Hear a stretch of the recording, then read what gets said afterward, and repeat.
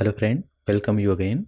Today I am going to show you that how you can prepare and export high quality figure for your publication using data analysis software GraphPad Prism. You can prepare your figure even though if you are not using this software to analyze your data provide you limitless option to prepare and export high quality figure in various vector format like PDF EPS or raster format like JPG and PNG in desired resolution like 300, 600 and 1200 dpi. I'm going to double click here. This I'm going to select the first one. Click here on the OK. Now you can see my first graph is imported and to import the image from other places just left click and you can see here import picture if you click here click here on open here you can see my picture is imported. Export the figure. If you just click here on the export icon this open a new window for export layout. And here is drop down window. If you click here you can see there are many options